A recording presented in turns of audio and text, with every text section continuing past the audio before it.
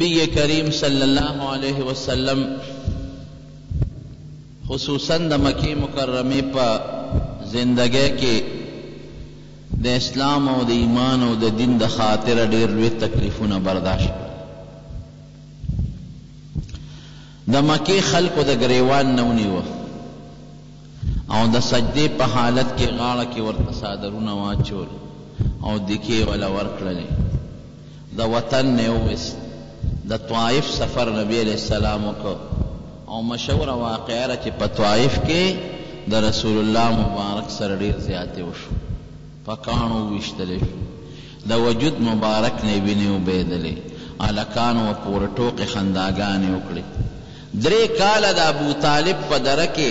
شعب ابي طالب کې د کافرانو د بایکاټ د وجې نه یې زندګي تېره کړه نه ورسره چا خبرې کولې نه چا سلام نه کلام نه شیخ خرڅول نه اغېشتل نه تعاون کول نه صدقه نه خیرات هېڅ قسمه تعلق دا ټول ختم دا درې کاله نبی علیه السلام سره د مسلمانانو مرګري او سره د بعضې خاندان د خلکو په دغه دره کې تېر کړل او خوراک به یې څو ماشومانو به یې ژړل نو څرمنې به یې وله په اوبو کې خوټکولې او هغه اوبه به یې پسکلې. او د ونو پاڼې به خوړې. دا اوس چې کومه ګرمي ده نن په موږ تاسو تېرېږي دا ګرمي چې سل چنده یو ځای کې نو د مکې مکرمې ګرمي ترې جوړېږي. داسې دره چې نه پکې څه ونه بوټی شته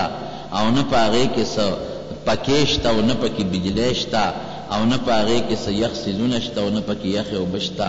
درې کاله په دا دومره ګرمۍ او سختۍ کې د الله د دین د خاطر تېرول دا ډېر ګران کار دی،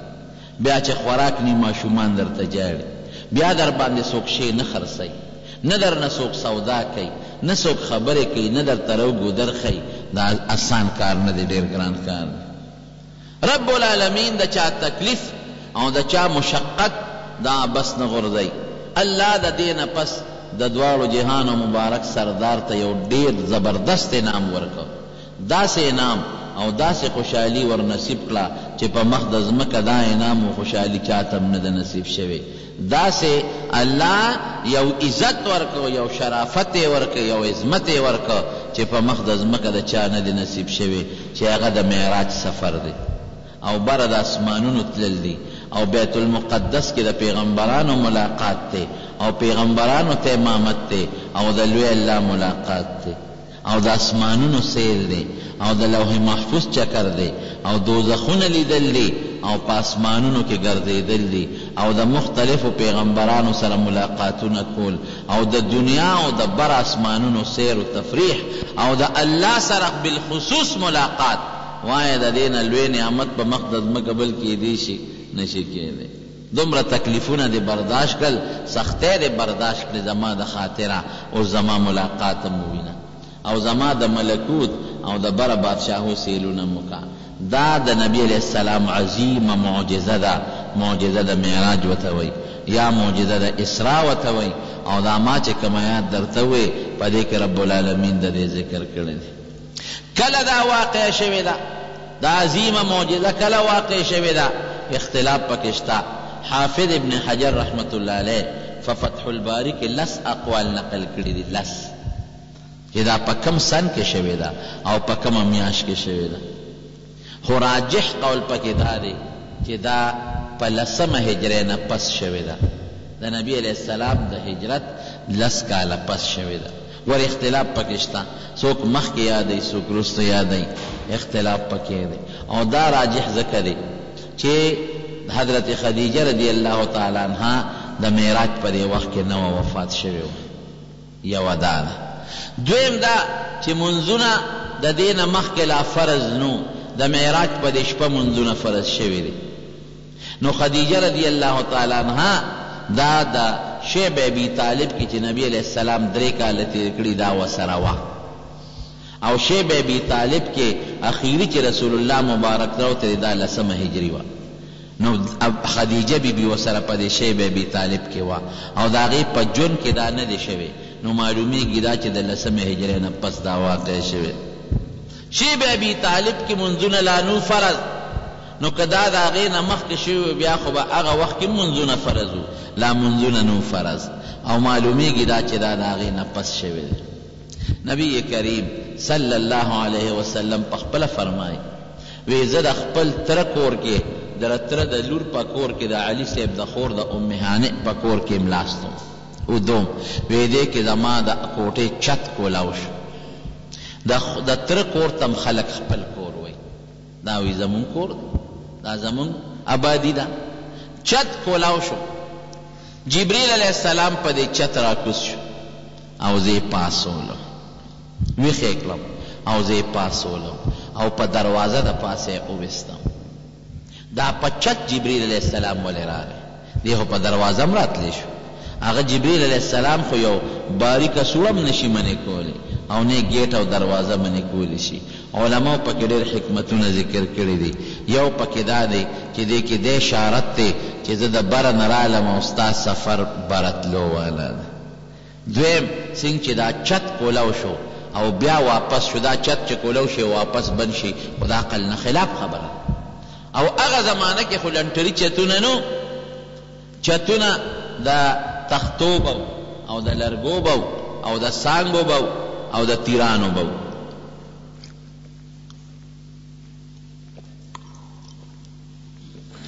د لرګو چت د لرګو چت ماتېدل او بیا پېوست کېدل، د لرګو چت سوري کېدل، د څانګو او نه خاوره پرېوتېدل او نه پاڼه لاندې را پرېوتېده او بیا پېوست کېدل، د عقل نه بار خبره ده، عقل یې نه مني. دې کې دې ته اشارت دی چې یوه عظیمه معجزه ستا نه صادرېدو والا ده، د عقل نه بار به یې. معجزه هم دې ته وایي چې د انسان د عقل نه بار یې او د انسان عقل یې نه مني. دا عقل نه بار خبره. نمبر دریم دې کې څه ته اشارت دی چې دا چت سنګ کولو شو او بیا پرې وس شو. دقه رنګې د اسمان کړکۍ به درته کولاویږي او بیا به بندیږي. او نمبر چار دې کې دې خبرې ته اشارت دی. رسول الله صلی الله علیه وسلم ته چې بره اسمان ښکاره شو چت چې کولو شي کولو فضا او اسمان ښکاره شو د بره د تلو د سفر یو اشاره ده نبی علیه السلام وایي په دروازه وویستم او رې وستم د بیت الله خوا کې کم ته چې حتویم وایي الله دې مونږ تاسو بوتلی کې دا د بیت الله مبارک ایسه ده او د بیت الله نه لږه یو کوټې بهر ده. راووته شته هغې کې خلک ورننوځي او دوه رکعته لمونځ پکې کوي او د بیت الله مبارک ناوه هم دقه ځای کې ده، بیت الله نه چې اوبه بیږي پرې حطویم طرف ته بیږي. حطویم ته بوتلم یو جبریل علیه السلام دی او یو میکاییل علیه السلام او زه څملولم او زما سینه مبارکه وشلوله، د دې سینې د بره غوټې نه واخله. تر د خېټې دې ړومبی حصې پورې دی زما سینه وشلوله او ځان سره یې د جنت نه د اپرېشن سامان راوړی دی، چړې، قینچي وغیره او اوبه د حوض کوثر استعمال شوې دي، د زمزم استعمال شوې دي، د زمزم. دې نه علماء معلوموي چې د زمزم د اوبو نه بهترينې اوبه دا يو ځای هم نشته،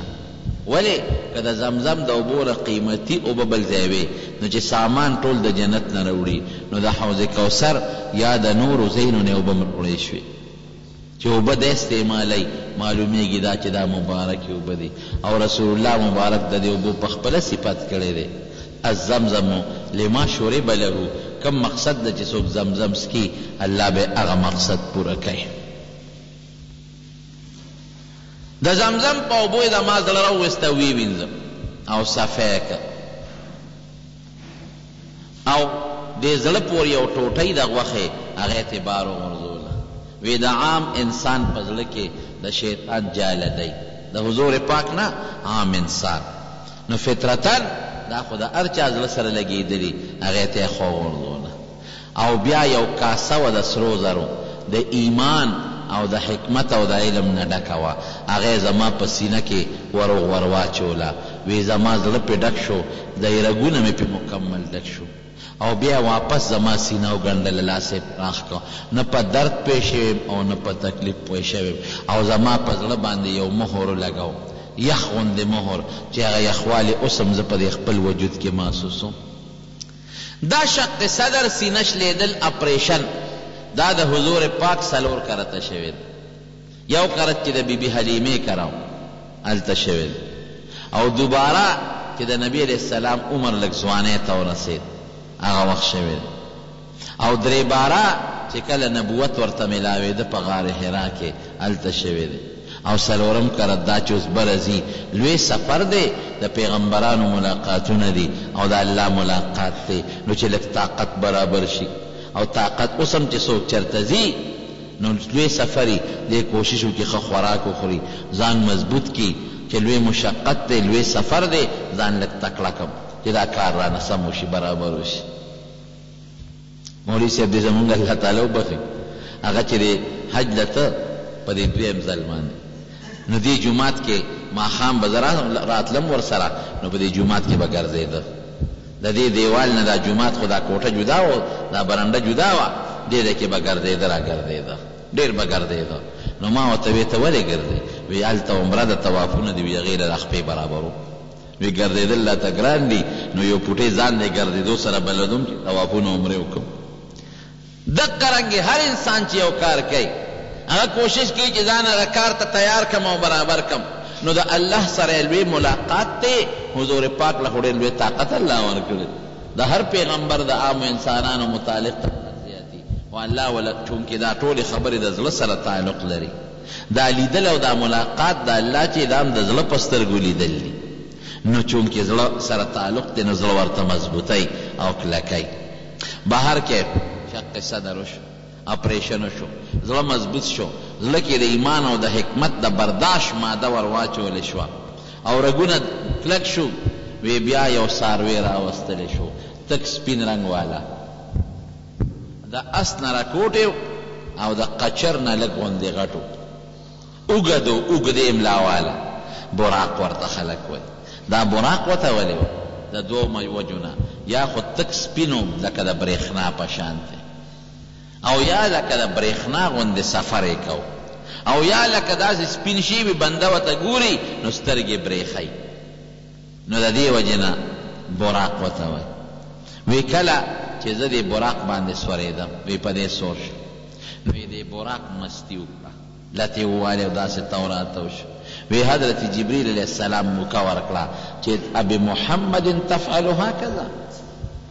ته په نبي عليه السلام محمد صلی الله عليه وسلم دا چل کې، دا نخرې هغه متعلق کې، والله ما رکبک احد قبلک، دنه مخکې په تا د ده په شان بهترين انسان نه دی سور شوی. او نه به د ده نه پس په تا د ده په شان بهترین انسان څوک شي. ما رکب علیک احد قبله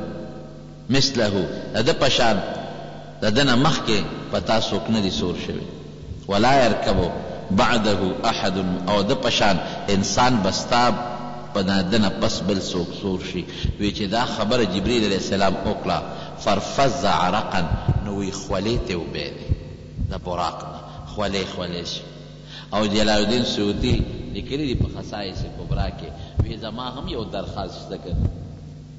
براق ګوره حيواناتو هم د رسول الله مبارک سره خبرې کړې دي دا يو معجزه ده دا عقل نه بر دي وي زما يو درخواست دا دی چې زما دې نبي عليه السلام په جنت کې د خپلې سورلۍ لپاره قبول کړي قبلت ما تقبل ستا دا درخواست بيا پرې نبي عليه السلام سور شو. یو روایت کې راځي چې جبریل علیه السلام او میکاییل علیه السلام دواړو یو یو طرف ته او بل بل طرف ته د دې بوراق دا واګې نیولې دي او په بل روایت کې راځي چې جبریل علیه السلام ورسره شاته سور دی د میکاییل علیه السلام ذکر دې نه پس په روایاتو کې نشته. نو ممکن ده چې له اول دواړو واګي نيولي لکه يو څاروی څوک روانوي نو واګي ونيسي ممکن ده دواړو واګي نيولي او د مسجد حرام د جومات نه يې بهر کړي او بيا ورسره جبريل عليه السلام شاته سور شوي روان شو وې دې براق به هغه ځای قدم کېښوده چې کوم ځای به زموږ نظر لګېد نو يو ځای ته ورسېدو. جبرئیل علیه السلام مې دلته څاروی ودراوه، ما ودراوه، کوز شه کوز شوم، یو دوه رکعته لمونځ وکړه، ما دوه رکعته لمونځ وکړ،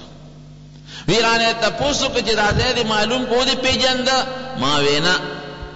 وې دا طیبه ده، د مدینې منورې نوم دی، یثرب چې ورته خلک وایي، مقام هجرتک، ستا د هجرت ځای دی. پاک ځای دی نبی علیه السلام مبارک یې صفت کړی دی دجال هم یو ځای کې دا خبره کړی ده تمیم الداری دا یو صحابی دی په یو جزیره کې د دجال سره ملاقات شوی نو دجال ورته وې وې زه به په ټوله دنیا چکر لګوم مګر زه به مکې او طیبې ته نه داخلیږم.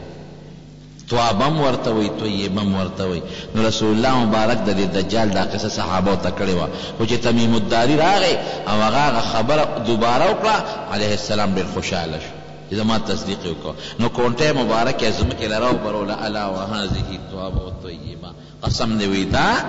توابه ده او طیبه ده، دا هغه پاک ځای دا دی چې دجال ورته نه داخلېږي. وې بيا هم څه منځې مزل وکړم وې بيا يې کوز کړم ماته وې دلته دوه رکعته لمونځ وکړه دوه رکعته لمونځ مې وکړ تاته پته ولګېده چې دا کوم ځای دی ما وې نه وې دا مدين د شعيب عليه السلام علاقه ده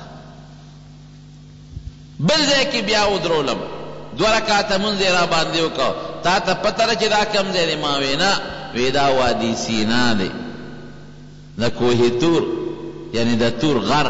خوا کې چې کومه وادي ده، کوم ځای کې چې حضرت موسی علیه السلام ته الله پیغمبري ورکړې ده او خبرې اترې یې ورسره کړې دي. بیا یو ځای ته بوتلم، هلته یې څاروی ودراوه، ویې دلته یو دوه رکعته لمونځ وکړه، ما وکړ، تا ته پته ولګېده چې دا کوم ځای دی؟ ما وې نه، وې دا بیت اللحم کوم ځای کې چې حضرت عیسی علیه السلام پیدا شوی دی د خپلې مور. وي بيا روان شو وي يوه بوډۍ ښځه مې وليدله وي ما ته يې اشاره راکړه ما ته جبريل عليه السلام وې چې دې ته ګورې راتاو نه شې وي التفات هيڅ قسمه توجه مې ورنه کړه مخکې لاړو يو بوډا سړی و وي چې ده له څه توجه ورنه کړي هيڅ توجه مې وله ورنه کړه وي چې مخکې لاړو يو قوم و په مې سلام واچاوه. السلام علیک یا اول السلام علیک یا آخر السلام علیک یا حاشر دا درې واړه د نبی علیه السلام صفتونه دي وی ما تپوس وکړ د جبریل علیه السلام نه چې دا بوډۍ ښځه څوک وه او دا بوډا سړی څوک و او دا قوم چې په مې سلام واچو دا څوک و وی دا بوډۍ ښځه دنیا ده دنیا د بوډۍ ښځې په شکل دې ولیدل وی اندازه ولګوله دی بوډۍ ښځې څونه عمر پاتې و، شکل یې چیپړ او ملا را ټیټه وه، وی مې چې ډیر عمر یې تیر کړی دی او ډیر لږ یې پاتې دی، وی دقه د دنیا مثال دی چې دنیا ډیر زیات وخت تیر کړی دی او لږ یې پاتې دی او خره چې تا توجه ورنه کړه که توجه دې ورکړې وی امت به دې ګمراه شوی وی. دا بل تا شیطان د بوډا سړي په شکل ولید، خبیث شکل، چیپړ. دا بوډا شیطان دم اشاره درکړه خره چې تا توجه ورنکړه که توجه دې ورکړې وی نو امت به دې د شیطان په جال کې راغلی او دا درې کسان دا قوم چې په ته سلام واچاو او تا ته وی السلام علیک یا اول السلام علیک یا آخر السلام علیک یا حاشر دا یو ابراهیم علیه السلام وو یو حضرت موسی علیه السلام وو او یو حضرت عیسی علیه السلام. علامه زرقاني او علامه سيوطي په خصائص کبرا کي دا واقعات ليکلي دي او مولانا ادريس کان دهلوي رحمه الله په سيرت مصطفی کي نقل کړي دي. دې نه مخکي لاړو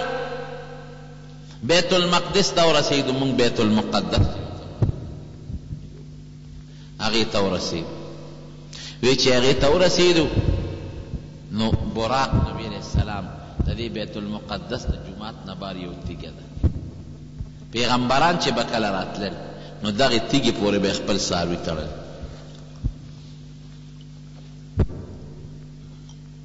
د هغه تيږې سوړه بنده شوې وه. ځکه يو ځای باندې چې بله عمر تېر شي نو هغه سورې په خاورو ډکېږي. سوړی بنده وه نو جبريل عليه السلام پکې ګوته ومنډله هغه سوړی ازاده کړ نو د هغه براق هغه پړی په هغه سوړه کې ورکړ او هغې پورې هغه څاروی وتړل او بیا یې ماته وی راځه جومات ته دننه کړم د بیت المقدس وی صفونه ولاړ دي داسې اندازه لکه د امام په انتظار چې خلک ولاړ دي صفونه کلک ولاړ وي زي د مټه ونيوم ړومبي صف کي ودرولم مؤذن بانګ ووي بانګ يې ووي او بيا د بانګ نه پس اقامت وي ما وي چي امام به مخکي کيږي څوک به نو منځ به کوي وي جبريل عليه السلام ما ته وي دا خلک ستا په انتظار دي دوی ته دوه رکعته منځ وکړه وي زه مخکي شوم او ما دوه رکعته منځ هغوی ټولو ته وکړ وي بيا ما نه جبريل عليه السلام تپوس وکړ تا دا وپېژنده؟ دا څوک و؟ ما وې نه. وې دا د آدم علیه السلام نه تر عیسی علیه السلام پورې انبیا دي. یعنې کم و بیش یو لک ځلیریش زره پیغمبران. بلکې بعضې علما لیکي چې د اسمان نه فرشتې راغلې وې. هم پیغمبران دي او هم د اسمان فرشتې دي هغوی هم راغلي دي مقربې فرشتې. نو نبي علیه السلام دواړو ته امامت وکړ. هم پیغمبرانو ته هم فرشتو ته د نبی علیه السلام دا کوم صفت چې دی امام النبیین والمرسلین د پیغمبرانو او د رسولانو امام دې ځای نه وتلی وی بیا جبریل علیه السلام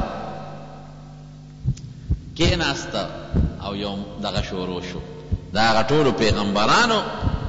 او زم ناستې یو دغه شروع شو یو تقریرونه شروع شو د سټیج چې کوم ناظم دی چې دا خلک بری د پلان کې راشي او د پلان کې راشي او د پلان کې راشي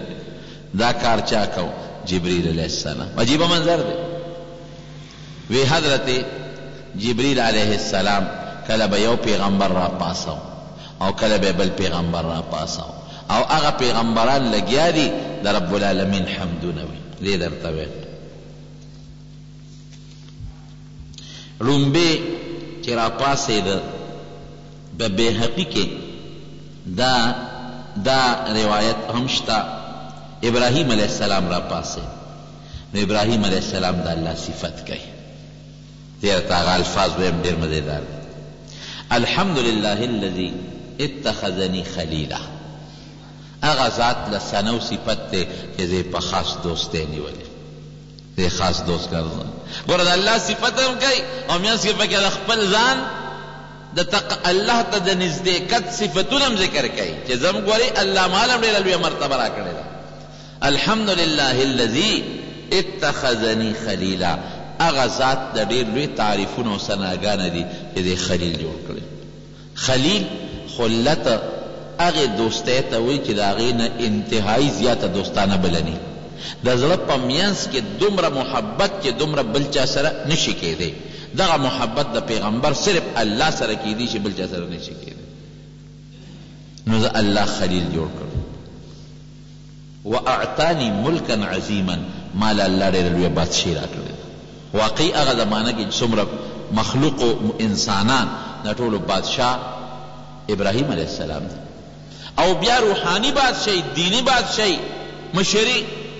وجعلنی امتا قانتا قرآن شریف کی الله وایی ان ابراهیم کان امتا قانتا لله زۀ امت قانت ګرځولم، عاجزي کوونکې، تابعدار، زاري کوونکې، امت ورته ولې وائي؟ د په عزت کې امت دا معنی چې لکه د یو لویې ډلې چې کوم صفتونه دي او یو ډله چې یو ځای ته راشي د هغوي څونه عزت او احترام مناسب دي چې وشي دقه رنګ ابراهیم علیه السلام ځان له مستقل د یو ډلې په اوصافو موصوف ؤ او د یو ډلې حیثیت ئې لرۀ په عظمت کې یؤتم بی، په ما زما خلک اتباع کوي. داسې صفت یې زما له راکړ چې د ما خلکو اتباع شروع کړه. وانقذنی من النار، الله د اور نه بچ کړی ما. وجعلها علی بردا وسلاما، اور په ما الله یخ کړی دی او معتدل. بردا وسلاما، یخ خو داسې یخ هم نه چې ما له تکلیف راکړي. معتدل. ورپسې بیا موسی علیه السلام راوبلل چې موسی علیه السلام به راشي او هغه به خپل تقریر وکړي. موسی علیه السلام هم خپل صفت کوي او څه وایي، الحمد لله الذي کلمني تکلما، هغه الله له ډېره لویه ثنا ده او ډېر لوی حمد دی چې ما سره مخ په مخ خبرې کړې دي، وکلمني نجیا. څنګه دغسې دی که نه؟ کلم الله موسی تکلیما په کوه طور کې رب العالمین د موسی علیه السلام سره خبرې وکړې کله چې بي بي ته واپس د مدین نه راته د مدین نه راځي او بي بي ته د ولادت تکلیف شروع شو نو دغه وخت کې انسان پکار دی او دغه وخت کې بعضې څیزونه زنانه له پکار دي نو مخامخ یې رانه ولیدل ده وې دلته اور خو د شپې چې بلیږي خامخا به انسان وي اورېږه ورځم دلته به څوک انسان وي، زه به یې راولم چې زما د دې بي بي خدمت وکړي او که څه ورسره وي وبه غواړم، اور خو هسې نه بلېږي، انسان به خامخا وي. بي بي ورته وایي، دا کونټه یې ځان سره واله، دې علاقه کې ګورې ماران ډېر زیات دي. دا خو د هغې علاقه وه که نه، د موسی علیه السلام بي بي چې څنګه دې ورغی او اونه کې اور بلېده، اور اونه کې اور څنګه بلېږي؟ انسان خو نشته ودرېږه لږه شوړه به ورته بله کړم نو بیا به ځان سره یوسم نو چې څنګه یې شوړه ورته نږدې کړه هغه اور ترې اوچت شو اور نه و یو نور و نور ده ته اور ښکارېده چې شوړه به یې ښکته کړه راښکته به شو چې شوړه به یې اوچته کړه اخوا به شو الله دا څنګه دی دا خو نه شوړې ته نږدې کېږي او داسې په دې اونه کې ګرځي راګرځي اوچتېږي ښکته کېږي یا موسی انی انا ربک.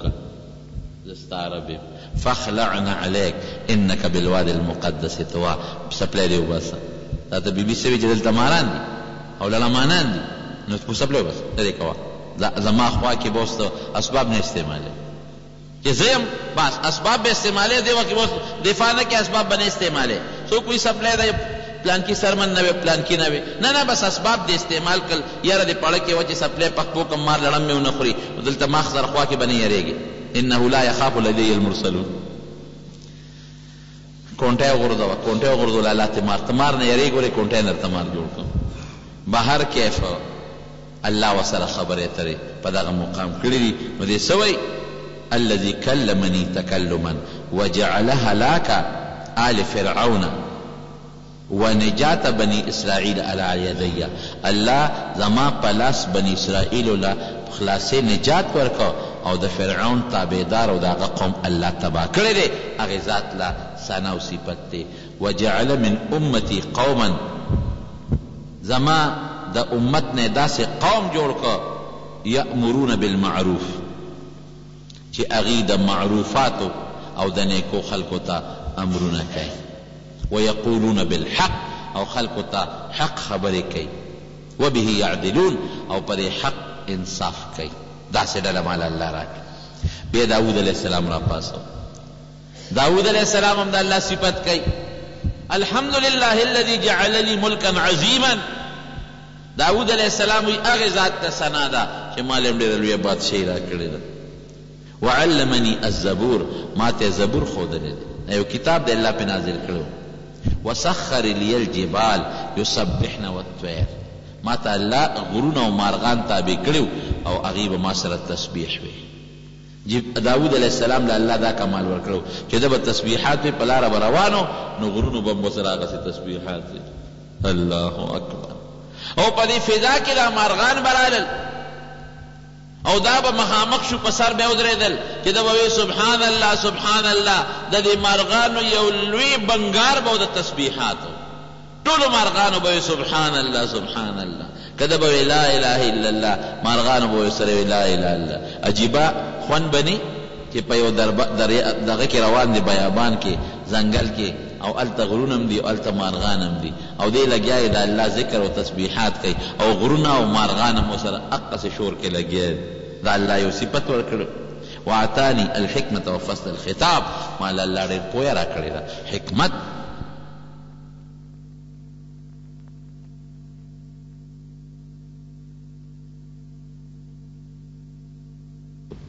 او نبی علیہ السلام یې صفت کړی دی چې د چا به ښکلی اواز و نو نبی علیه السلام ورته ویل لکه وی تاله خو د داوود علیه السلام د شپېلۍ په شان اواز خدای پاک درکړی د شپېلۍ اواز لږ خشتۍ مزېداري که د داوود علیه السلام د شپېلۍ په شان بهترین اواز الله درکړی بیا سلیمان علیه السلام راپاڅېد هغه به تقریر وکړي هغه هم د الله صفت وایي الحمد لله الذي سخر لي الرياح هغه ذات له ثنا ده چې ماته بادونه مسخر کړي دي سلیمان علیه السلام به باد تابع و قرآن شریف کې الله فرمایي مونږ باد ولا تابع کړو ولسلیمان الريح غدوها شهر ورواحها شهر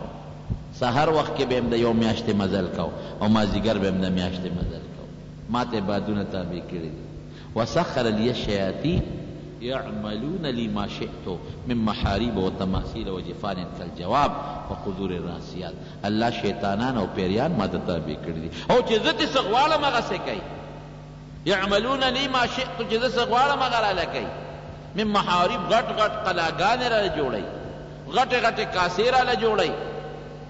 غټې غټې کاسې او ډېرې لوې لوې پینې او غټ غټ اودور دیګونه راله جوړوي دا الله مسخر کړي دي. وعلمني منطق الطیر او الله ماله دا صفت راکړی چې د مارغانو په خبرو پوهېږم مارغان چې یو بل سره لګیایي او چنګ چنګ کوي زه پوهېږم چې دا څه وایي یو بل عجیبه مزه ده چې دوی به څه وایي موږ ته پته نه لګي. دا خاروګان یو بل سره چنګ چونګ کوي، ته وایې ګنې هسې چنګ چونګ کوي، دا یو بل سره خبرې اترې کوي. په لاره کې روان و، هغه د مېږي په خبرو پوه نه شو، مېږی اواز کوي، یا ایها النمل ادخلوا مساکنکم لا یحطمنکم سلیمان و جنوده وهم لا یشعرون، سلیمان او د هغه لښکر را روان دي، رېز مریز هم نه کېږي، شابه فټا فټ په خپل سوړو کې داخلېږي. نو الله هغه ذات ته ثنا ده، علمني منطق الطير، چې د مارغانو په خبرو يې زه پوه کړم، چل يې راته ښوولی دی، واتاني من کل شيء، هر شی الله راکړی دی، وسخر لي او ماته الله پاک سخر لي جنود الشياطين، د شيطانانو لښکرې ماته الله تابع کړي دي، او د انسان، والانس والطير، وفضلني علي کثير من عباده، په ډېرو بندګانو الله ماله بهتري راکړې ده، واتانی ملکا عظیما لا ینبغی لاحد من بعدی داسی بادشاهی الله راکړی چی مانه پس بل چالاړو مناسب نه ده واقعی داسی بادشاهی الله ورکړی وه نبی علیه السلام یو ځل شیطان ونیوه شیطان راته او نبی علیه السلام ته په مانځه کې څه تکلیفونه ورکول کله کی ونیوه سر صحابه ته بیګا یو سرکشه شیطان راغی ما دې په مانځه کې نقصان راکړو وی کلک مې ونیوه وی اراده مې ولرل چې د دې ستنې پورې د جومات وتړم چې سار تاسو راشئ ویې وینئ وی بیا د سلیمان علیه السلام زما د ورور د سلیمان علیه السلام دعا را مخکې شوه رب هب لي ملکا لا ينبغي لاحد من بعدي الله داسې بادشاهي راکړه چې ما نه پس بل چا له مناسبه نه وي فرددته خاسئا وی ما اوشاله حکم یې کړ چې ځه چخې شه په مخه دې ښه ځکه چې د هغه بادشاهي په شپېریانو شیطانانو وه، نو دا خو زما بادشاهي هم پرې رااله چې ما تړلې وي په ستن پورې، نو د هغه هغه سوال کې لږ کمی راته، نو ما دغه کار ځان له خوښ نه که پرېږده، دا د شیطانانو نیول او تړل دا د سلیمان علیه السلام په واک کې راځي، چون د هغه خصوصیت یې د بل چا نه دي. چې ده دا تقریر وکړ، نو بیا د هغې نه پس نبي کریم صلی الله علیه بیا عیسی علیه السلام رشته. عیسی علیه السلام یې راپاڅاوه. ابت بیان کوي عیسی علیه السلام څه وایي؟ الحمد لله الذي جعلني کلمة هغه ذات له ثنا ده چې دې د کن په یو کلمه پیدا کړی یو کن کلمې سره وجعل مثلي مثل آدم خلقه من تراب زیم د آدم علیه السلام په شان صفت مال راکه په پیدایش کې هغه د خور نه پیدا کبي پلار او مور نه او زی بغیر د پلار نه صرف د مور نه پیدا کړ دا زما یو لوی عزت دی. ثم قال له کن فیکون، خاورو نه یې پیدا کړ، وې کن شه، نو آدم علیه السلام ته نېغ ودرېد. دقه دې د مور نه پیدا کړم بغیر د پلار نه، وعلمنی الکتاب والحکمة والنبوة والانجیل، ما ته یې کتاب راکړ، ها، حکمت پوهه یې راکړه، انجیل یې راله راکړ، وجعلنی اخلق من الطین کهیئة. الطير فانفخ فيه فيكون طيرا باذن الله دا طاقت يې راکړ چې د خټې نه به مې مارغه جوړ کړو پوکې به مې پکې وو مارغه به جوړ کړو دا طاقت الله راته کړی دی وجعلني ابرئ الاکمه والابرص واحي الموتي باذن الله دا طاقت الله راکړ چې ما به پړون او په برګي انسان باندې چې څوک به برګی و او مړی به و ما به ورته وې قم باذن الله د الله په حکم پاڅه ټول به مړی به هم پاڅېده برګی به هم جوړ شو او ړوند به رب العالمين جوړ کړو ورفعنی الله ما لره لويه مرتبه راکړې ده وطهرنی او زه پاک کړې ما پاکي راکړې ده وعاذنی وامي من الشيطان الرجيم او زه او زما مور الله د شيطان نه ساتلي يو د بي بي مريم مور دا سوال کړی و کنه چې کوم وخت بي بي مريم پيدا شوه مور يې وې وی اني اعيذها بك وذريتها من الشيطان الرجيم الله ستا په ذات پناه نيسم چې دا مريم او ردی بچی د شيطان وو نو عيسی عليه السلام ځکه وو چې زما مور او زه الله د شيطان نه ساتي دوی فلم يكن للشيطان علينا سبيل د شيطان په موږ لار نشته شيطان نه خلاص شو بیا نبی کریم صلی الله علیه وسلم له دعوت ورکړ یو دې روایت کې نشته او بل روایت کې شته چې حضرت آدم علیه السلام هم پکې تقریر کړی هغه هم د الله سيل صفت کړی، الحمدلله الذي خلقني من تراب واسکنني في الجنة، هغه ذات لا ثنا او صفت دی د خاورې نه پيدا کړم او په جنت کې اوسولم، وجعلني خليفة في الارض، او بيا په ځمکه کې خليفه ګرځولم، ګوره هر پيغمبر خپل شان دی، وجعلني ابا النبيين والمرسلين، او د ټولو پيغمبرانو او رسولانو پلار يې ګرځولی. داسې نور صفات هم دي حضرت نوح علیه السلام هم پکې تقریر کړی دی په دې روایت کې نشته او په بل روایت کې شته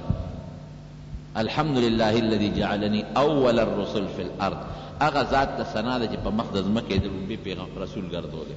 یو نبی دی یو رسول دی لومبي رسول دا حضرت نوح علیه السلام بهر کیف نبی علیه السلام می پاسو د حضور پاک ثنا ته وزغوږ کین هسه وای الحمد لله الذی ارسلنی رحمتا للعالمین هغه ذات ته ثنا ده چی دی د ټول مخلوق د پاره رحمت ګرځولی ټول مخلوق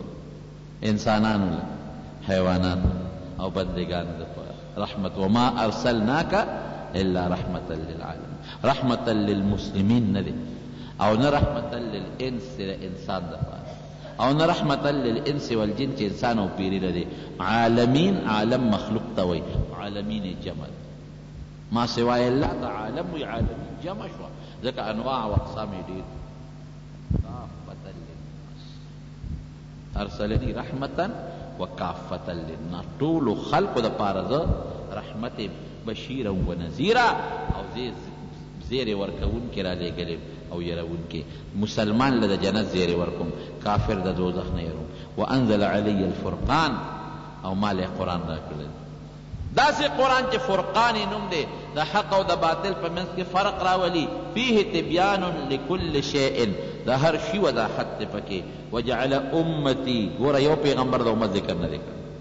دې نه مخکې نبي علیه السلام څه وایي، وجعل امتی خیر امة خیر امة اخرجت للناس، زما امت الله د ټولو امتونو نه بهتر امت ګرځولی. وجعل امتی الاولین والاخرین زما امت هم اول دی هم اخر دی د الله په علم کې دا و چې د دا امت په پیدا کېږي او جنت په تلو کې اول دی او حساب کتاب کې اول دی او د دنیا په راتلو کې اخر دی وشرح لي صدري زما سینه الله کوله وکړې ده هر څومره تکلیف او چې راځي نو زه پرې تنګېږم نه څومره تکالیف رالل سینه زما کولاو ده او بیا راځي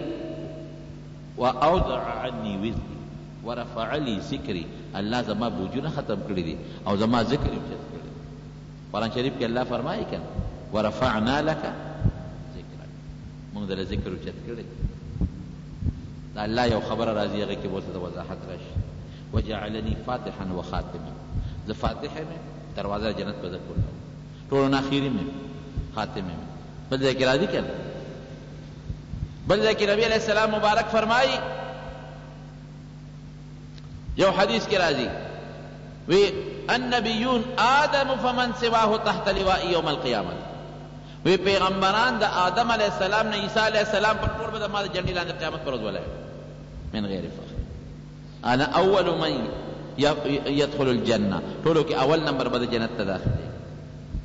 چی دا تقریر نبی علیه السلام وکړو نو بیا جبریل علیه السلام خو دا سټیج سیکرټری دی هغه اخر کی څه وایی بهذا فضل الله علیهم محمدا ای پیغمبرانو په دی خبرو الله په تاسو ټولو محمد صلی الله علیه وسلم له فضیلت ورکړی منځ شو بار راوته دی معرف القرآن کی مفتی محمد شفیع د دې اسراء په واقعه کې د نبی علیه السلام په زمانه کې د روم یو بادشاه او هرقل به ورته وي هغه ته پیغمبر علیه السلام دعوت ورکړو د یحیی کلبی او صحابي لېږلی هغه یو خط د نبی علیه السلام نو هرقل وکړه هغه یو درېګه د پیغمبر معلومات نو وی دلته د قریشو څوک ډله شته یو یو تجارتي قافله راغله ویره وله حضرت ابو سفیان رضی الله عنه وی وی دغه وخت کې لازه کافر او مسلمان نو وی مونږه قافله ته بللو وی هرقل زکینو لمو مرګریم زما کینو او مونږه د نبی رسول الله متعلق معلومات کو ما جوابونه ورکو هغه به تاسو کو ما جوابونه کو دا څنګه دی پلار پیغمبر وکنه بادشاہ په قوم کې تیر شوی د کنه تابعداري څنګه دی وي ما وي چې د نبي عليه السلام داسې خبره زه وکړم چې د هرقل په مخکې دې بدنام کړم وي ما چې صيب اوس يو خبره يې کړې ده څو ورځې څه موده مخکې څه يې ويلي دي وي راته يې ويلي چې زه په يو شپه کې دننه بيت المقدس ته تللي يم او ټولو پيغمبرانو ته مې لمونځ کړی دی او بيا واپس په مقه شپه کې واپس راغلی يم وي دومره دروغ يې ويلي دي وي چې يو بوډا سړی د دې هرقل د روم د بادشاه وی مانه تپوس وی وی چې بادشاہ سلامت ده دی ابو سفیان نه یو تپوس کو او ته چې وکا وی دا کله یې ویلی دی چې دې تلې او دا بیت المقدس ته وی دا په پلان کې میاش کې د څه شپه وه پلان کې شپه وه وی بادشاہ سلامت ټیک وای هرقل ورته مخ ورواړو د روم بادشاہ غ بوډا ته تا ته څه پته لګي چې ټیک وای وی دا دې چې کومه ورځ او شپه یادې په دقه ورځو کې د بیت المقدس خادم ما به دروازې د شپې بندولې سر به مې کولاوولې دا دې چې کومه شپه یادوي چې دا نبي علیه السلام یادوي چې دې په دې شپه بیت المقدس ته تللی دی وایي په دغه شپه چې د بیت المقدس دروازه ما بندوله نه بندېده ټول خلک لاړل دروازه نه بندېدله وایي ما ترکان راوغوښتل چې ته له غوندې راشه دا دروازه نه بندېږي هسې نه څو غلا بلا ترې ونیسي وایي ترکان چې راغی دروازې ته یې وکتل چې کومه غټه دروازه ده نو هغه وایي چې دا درشل پرې راښکته شوې ده او دا تمبه یې نیولې ده بعد وخت درشل ښکته شي دا نه بنديږي دا اوس د شپې کار نه دی سهار به دا بيا درشل تيم چته و تمبه به کولاويږي دا دا دا نه ګرځي تمبه درشل يې د بره نه نيولې ده ډېره ښه ده وي سهار چې رالم جومات ته شپه خو تېره شوه وي چې تمبې له مې ګوتې يوړې تمبه په خپله بنده شوه چې مې وکتل درشل تيم چته الله اکبر بېګا پې درشل د پاسه وه تمبه نه تړقېدله اوس خو دا دته درشلو چتر او تمبه یاره داسې معلومیږي چته څوک نیک سړی دی جومات ته مانځله د شپې راته دا دروازه الله مانه کوله او پاتې کوله ورته ورېږه ګورم وی رالم د دروازې مخې ته هغه کاڼ مې وکته چې پیغمبران به راتلل او خپل اسپ یې تړه وی چې هلته مې وکتل نو هلته د څاروي د خپو نښې وې تازه او کوم سوری چې د زمانو نه بند و په ګوته کولاو شوی و. او په هغه سوري پورې پړی تړلی شوی و د څاروي او د څاروي د هغه پړي داغ هم په هغه تیږه د پاسه پروت و. دی چې وایي دا کومه شپه یادوي دقه شپه زه هلته وم دا ما لیدلي دي. نبي کریم صلی الله علیه وسلم فرمایي وایي چې د هغه ځای نه ووتم نو وایي ما ته بیا درې لوښي راپېښ یو د پیو یو د اوبو وی ما پۀ واړشت وی ما ته جبريل عليه السلام ووي چې مبارک دې شه شکر دې چې پۀ دې واغشتل که دا شراب دې غشتي امت به دې برباد شوی وی پۀ د انسان فطري غذا ده د جسم د پاره او په پۀ د هر انسان داسې ماشوم چې د مور نه پېدا شي داسې به نۀ چې هغه دې د پۀ د هغه د وجود سره موافق نۀ وي.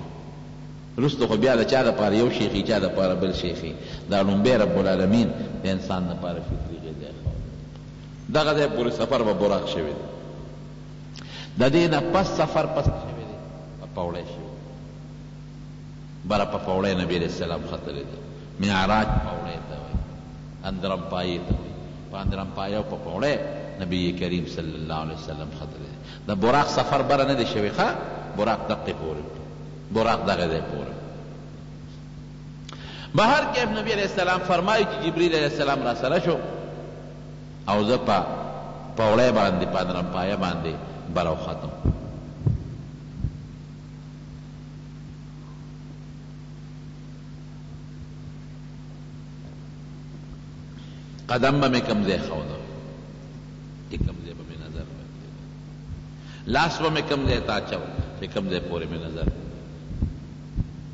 بر او خطا چې وختم چې کوم دروازچی دی دا دروازه هغه ته جبرئیل علیه السلام دروازه وواله اسمان کې هغه ته څوک وی جبرئیل یوازې که مرګره نشته مرګره را سره شته څوک دی محمد دی صلی الله علیه په خپله راغلي دي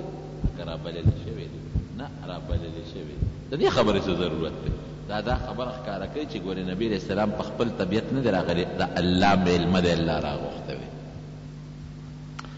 وي نعم المجیء جاء ډېر ښه راتلونکی راغلی دی، مرحبا به، په خیر راغلي دي، ورته دروازه یې کوله وکړه، وي چې اسمان ته وختم، په ړومبي اسمان کې مې د حضرت آدم علیه السلام سره ملاقات وشو. ماته جبريل عليه السلام وي دا نيکه دې ستا آدم عليه السلام سلام پرې واچوه. ما وي السلام عليک. هغه راته وي وعليک السلام يا ولدي اې بچيه وعليک السلام. وي چې ښي طرف ته به وکتل يو ډله وه نو وي وبه خندل خوشاله به شو او چې ګس طرف به وکتل نو خپه به شو. ما وي دا ښي طرف ته ډله څوک ده؟ وي دا رده د نيکانو جنتيانو بچي روحونه دي. او د اګست طرف ته ډله د ده د ګناهګارانو بچو روحونه دي. دی چې دې خوا وګوري خوشحاله شي چې هاخوا وګوري خپه شي، په بچو خلک خپه کېږي. د ښي طرف نه چې کوم خوشبويي راځي دا د جنت ده، ګس طرف نه چې کومه راروانه ده د دوزخ نه ده. وي بيا دويم اسمان ته وختم. وي هلته هم هغسې خبرې وشوې،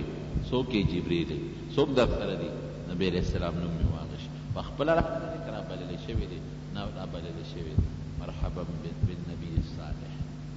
نعم المجیب ډیر ښه راتلونکی راغی دروازه کلو کې مې راوکتل هلته مې د عیسی علیه السلام او د یحیی علیه السلام سره ملاقات وشو هغوی ته باندې مې هم سلام واچاوه هغوی هم راته وعلیک السلام وویل بیا ورپسې دریم اسمان ته لاړم په دریم اسمان کې همغسې خبرې د دروانچي سره وشوې او د یوسف علیه السلام سره ملاقات وشو وی یوسف علیه السلام می ولید د دنیا د ټولو خلکو د حسن نیم حسن الله ورکړی شته وی د هغه نه پس می بیا په څلورم اسمان کی د حضرت ادریس علیه السلام سره ملاقات وشو او بیا ورپسې په پنځم اسمان کی د هارون علیه السلام سره ملاقات وشو او په شپږم اسمان کی د موسی علیه السلام سره ملاقات وشو او په اووم اسمان کې د حضرت ابراهیم علیه السلام سره ملاقات شو او په اووم اسمان کې مې سدرة المنتهی یو بیره ولیدله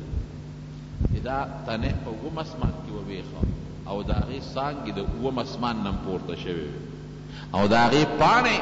د اتي د غوږونو عمره وې. او د هغې چې کومه مېوه وه د بېرو دا د حجر یمن کې یوه علاقه ده هلته به چاټی جوړېدی د هغې علاقې د خمو د چاټیو هم یو یو مېره او د سرو زرو سپینو زرو پتنګان پکې ګرځېدل ډېره زیاته خشته وه منتها ورته ولې وایي د دنیا مخلوق دقه ځای پورې تلی شي بره نه شي تلی فرشتې چې څومره دي بس په دې انتها ده عنده جنت المأوی. جنت دغه دلته دی پورته جنت ما له تا بله جمعه کې ویلي د دې نه بره چې لاړم د قلمونو کشار مې واورېده ما تپوس وکړ وې دا لوح محفوظ دی دې کې تقدیرات لیکل کېږي بیا بیت المعمور مې ولید، په اووم اسمان کې، دا د فرشتو عبادت خانه ده، نبي علیه السلام فرمايي، روزانه اویا ځله فرشتې د دې نه طواف کوي او کومې فرشتې چې یو ځل طواف وکړ، تر قیامته پورې نمبر به رانه شي. جبریل علیه السلام دقلته رانه پاتې شو. رفرف ورته وایي، دا د ریښمو ګدۍ ده، نرمه. د نرو ریښمو اعله او نرمه ګدۍ ده، په هغې کېناستم او په هغې زه بره لاړم. جبریل علیه السلام لاندې پاتې شو. سختۍ، تکلیفونه تېر شوي دي، الله لویه مرتبه ورکوي، داسې مرتبه درکړم چې جبریل علیه السلام هم هغه مرتبې ته نه شي رسېدی. هلته یې د رب العالمین سره ملاقات شوی، ثم دنا فتدلی فکان قاب قوسین او ادنی.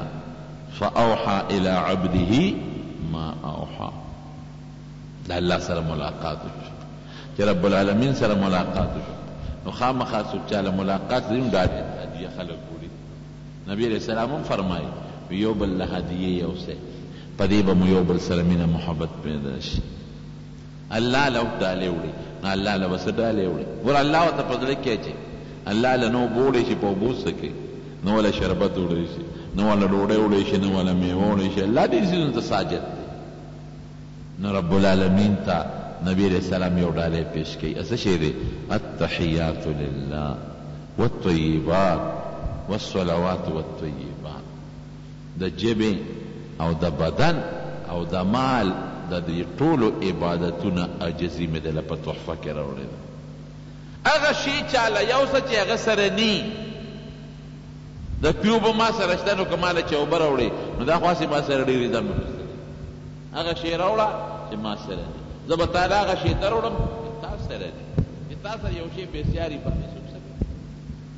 د رسول الله سره ارڅه شته خو الله کې عاجزي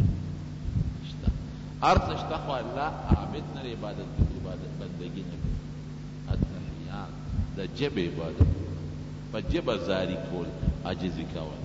والصلوات په بدن او په اندامونو عاجزي او عبادت کول والطيبات په مال کې عبادت کول عاجزي کول لله دا مې تحفه ده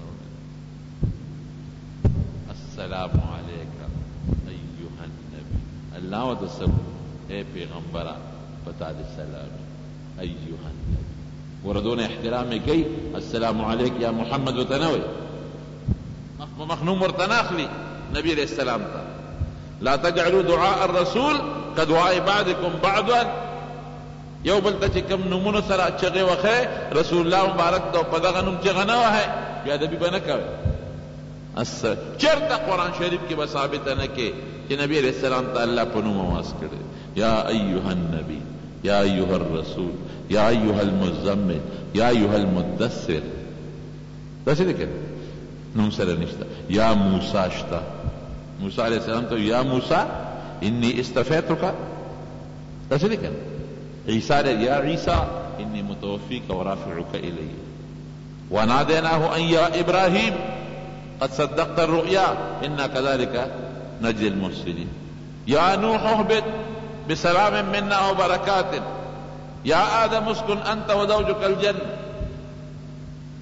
نو دوی ټولو پیغمبرانو ته په نومونو آوازونه شوي دي او رسول الله مبارک ته به ثابته نه کړي څوک چې نبي علیه السلام الله پاک مخ په مخ په نوم آواز کړی دی دا لوی عظمت دی د رسول الله مبارک السلام علیک ایها النبی ورحمت الله وبرکاته د ما رحمتونه او برکتونه دې پتا وي نبي عليه السلام څه وایي؟ خو چې تا ته وویل السلام ما ته وایې وعلیک السلام نو الله ته خو نه وي په تا دې سلام ته دې سلامت اوسېږي الله خو هسې هم سلامت دی السلام علینا په ما او زما په ګناهګار امت دې سلام وي نا کې ځان سره ګناهګار ملګری کړه وعلى عباد الله الصالحین او د الله په نیکانو بندګانو دې هم سلام وي نو رب العالمین ورسره بیا یو څو خبرې کړې هم درته وایم حضرت ابو هريره رضي الله عنه نقل کړی دی، ابو هريره رضي الله نه نقل دی چې الله ورته څه وي، قال له ربه قد اتخذتک خليلا، ما ته په دوستانه نيولې، زما دوست يې، وحبيبا او زما محبوب يې، وارسلتک الي الناس کافه، ټولو خلکو ته مې لېږلې. مخکې چې څومره پېغمبران وو هغه یو خاص امت او خاص قوم ته وو، ته مې خاص امت او خاص قوم ته نه لېږلې، ټولو خلکو ته مې لېږلې، بشیرا و نذیرا، مسلمان له به زېری ورکوې او کافر به ما د عذاب نه یېروې، وشرحت لک صدرک، تا له مې سینه کولاو کړې ده، ورفعت عنک وزرک، تا نه مې بوجونه ختم کړي دي، ورفعت لک ذکرک. تاله مې ستا نوم مې اوچت کړی دی نو ګوره ستا نوم اوچتوالی څه دی هغه وایي فلا اذکر الا ذکرت معی زما نوم چې کوم دی هماغشنی ستا نوم به ما سره اغشتلی کېږي لا اله الا الله ورسره د چا نوم اغشتلی کېږي محمد رسول فلا اذکر الا ذکرت معی زما ذکر به نه کېږي مګر ستا به راسره خامخا کېږي دا پورته والی دی وجعلت امتک خیر امة الله ورته وایی ستا امت مې په ټولو امتونو کې بهتر ګرځولی دی وجعلت امتک او ستا امت مې وس غوره امت ګرځولی دی وجعلت امتک امتک وجعلت جعلتک اول النبیین واخرهم د ټولو پیغمبرانو نه اول مې اخر مې ټولو پیغمبران د الله په علم کې وی جا وی هم وی کنت نبیا و آدم بین الماء و الطین وی زه هغه وخت کې پیغمبر وم چې آدم علیه السلام لا د خټې او د اوبو په دا مینځ کې الله اکبر الحمد لله ووایه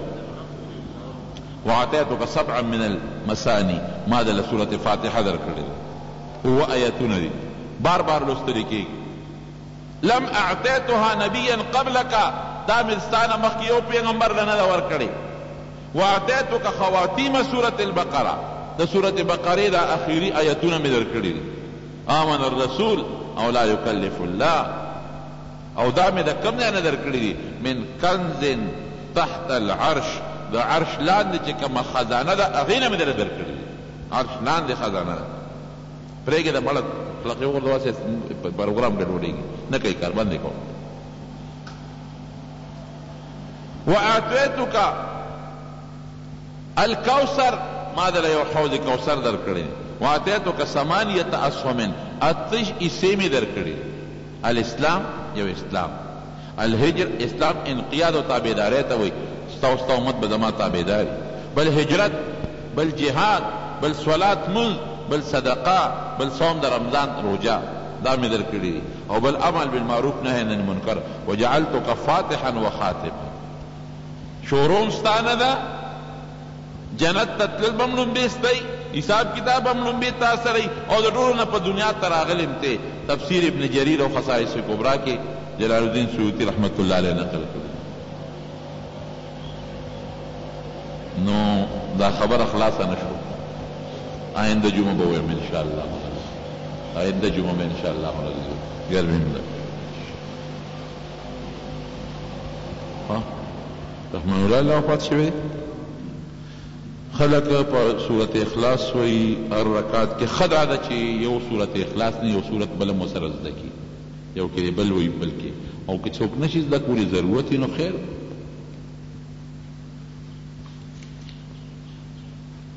دسوا سال د نبوت دی ښا د هجرت نه دی دا ما چه اوی چه لسم کال دی دا خو د هجرت نه مخکنی دی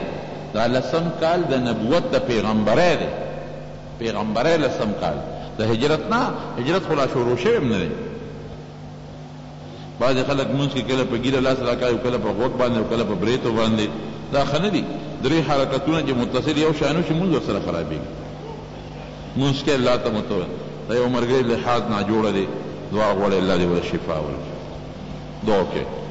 څومره ملګري چې ناجوړه دي بیماران دي الله ټول له شفا ورکړي رحمان الله الله ته دعا وکړي چې الله مغفرت نصیب کړي څومره مردګان وفات دي الله ټول وبخښي الله ته زمونږ راضي شي